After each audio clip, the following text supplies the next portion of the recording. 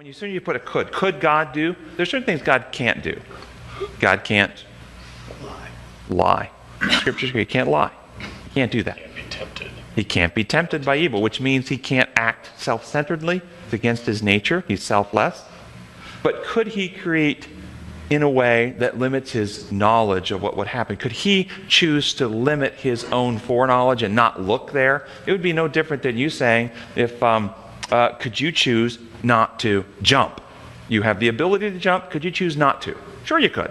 So, could he choose not to do that? He has the ability to choose not to do that. Of course. Do you have an ability? You can choose not to use it. But that's not the same thing as saying that's what he's done. And the scriptures are pretty clear that he has not done that. If you read scripture and you believe in the Bible prophecy about anything, including the Messiah and what the Messiah would achieve and how he would be treated and how people acted, it required foreknowledge of what people's choices would be when he arrived. Whether it was the foreknowledge of somebody betraying him the foreknowledge of being put up between two thieves, the foreknowledge of casting lots over his clothing, the foreknowledge of these are all people's individual free choices that he knew before they committed them and before they chose them. The, uh, the scripture is just rife with this.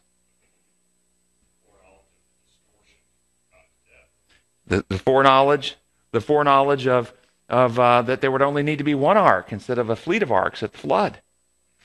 Either he's a fraud and he wasn't really offering everybody a trip on the ark, or else he knew that they wouldn't make that decision to get on the ark. So the evidence is overwhelming that God had foreknowledge of men's decisions. But could he? Your question could? Sure, he could have. I just don't believe he did.